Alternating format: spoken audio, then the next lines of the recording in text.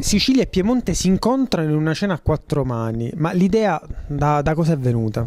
L'idea è l'unicità di due territori, unire due territori all'apparenza così lontani, ma come diceva anche Christian, eh, insomma, molto vicini per tante cose. Tra l'altro la nostra amicizia, il nostro lavorare insieme con GSH qua al Picciolo, quindi abbiamo deciso per questa bellissima serata. Sicuramente un progetto poi a settembre, sempre qua al Picciolo con eh, i vini dell'Etna e quindi eh, siete attesi qua da noi. Sono piemontese di nascita e siciliano d'adozione, perché da dieci anni ormai che lavoro in Sicilia.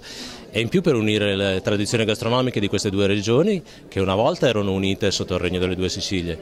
E secondo me hanno molti punti in comune dal punto di vista gastronomico e si può giocare molto bene negli abbinamenti fra di loro.